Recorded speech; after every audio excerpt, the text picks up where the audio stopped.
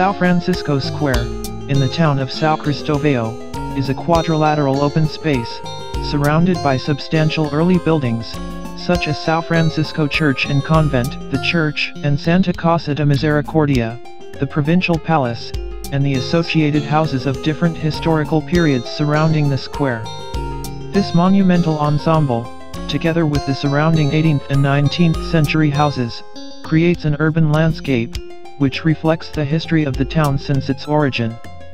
The Franciscan complex, is an example of the typical architecture of the religious order, developed in northeastern Brazil.